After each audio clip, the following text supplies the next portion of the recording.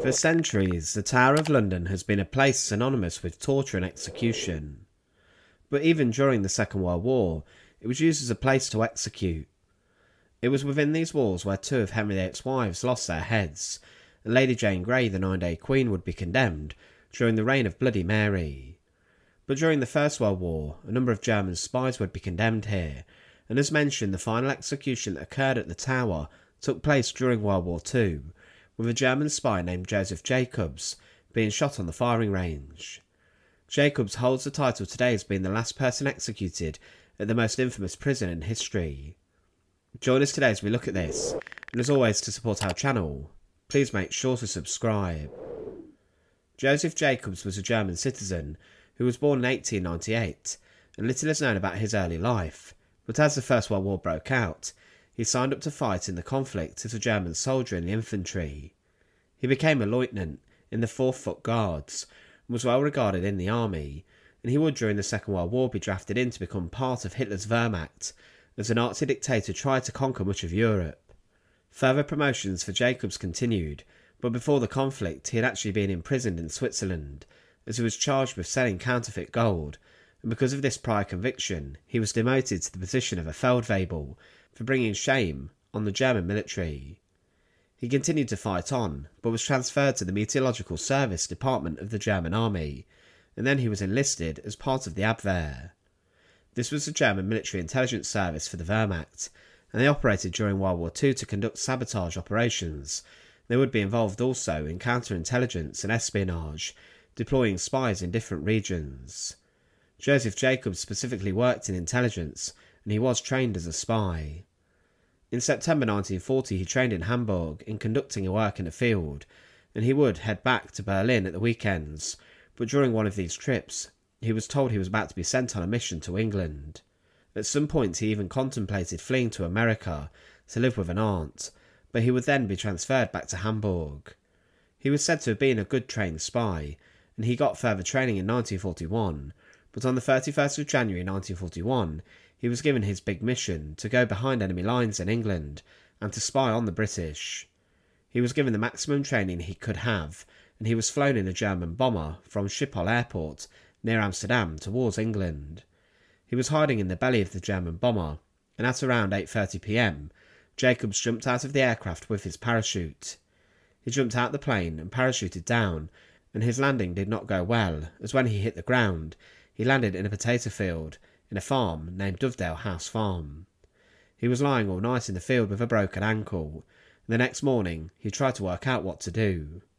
Jakobs would be suffering, and he decided to try and attract attention by firing his Mauser pistol in the air.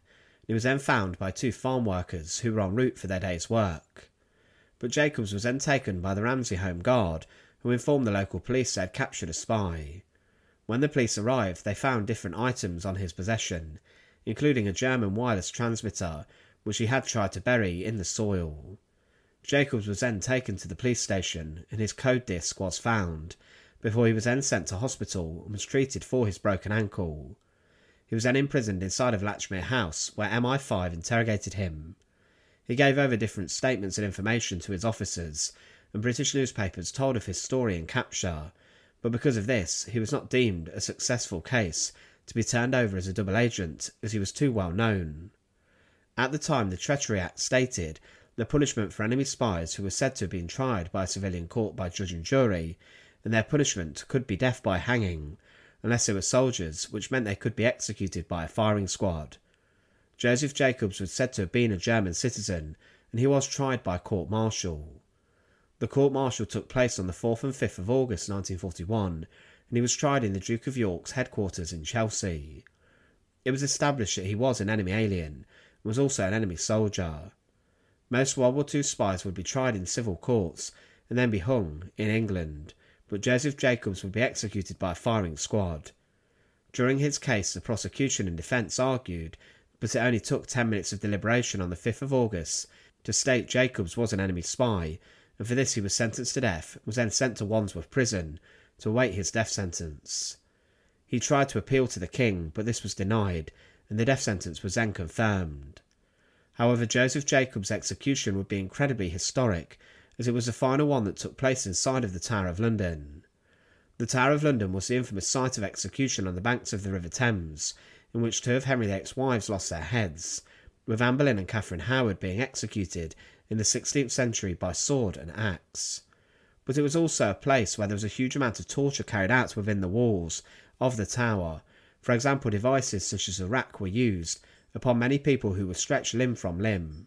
Also, other devices such as the scavenger's daughter were used, and there was also an oubliette there, a tiny dungeon called Little Ease, where prisoners such as Guy Fawkes were held inside, and this inflicted a huge amount of pain and suffering.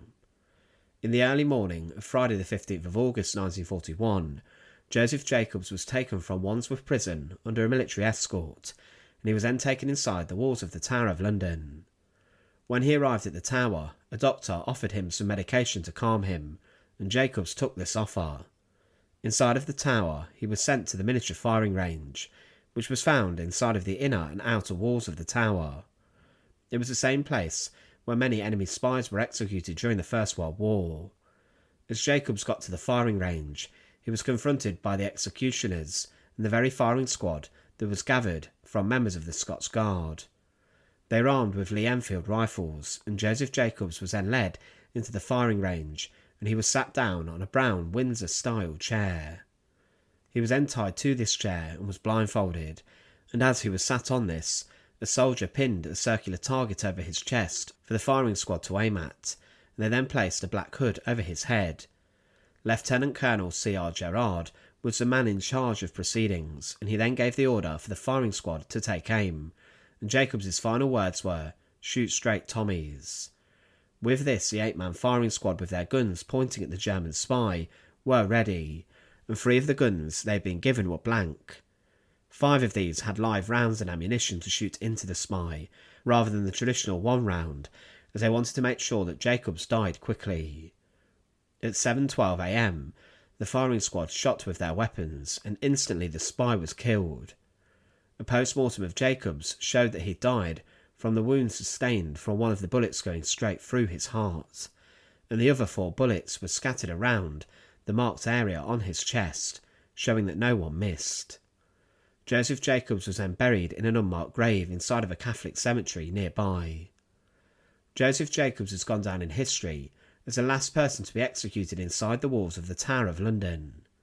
He joins Queens of England and members of the Tudor nobility and Stuart nobility who met their demise inside of the Tower of London. As history has changed, the method of execution may have changed from axe to gunshot, but Jakobs today still holds this record of being the last person condemned who was killed at the Tower. But who knows what the future may hold if future conflicts ever break out, then Jakobs's title as the last person executed at the Tower may change. Thanks for watching. To support our channel, please make sure to subscribe. And once again, thank you so much for watching.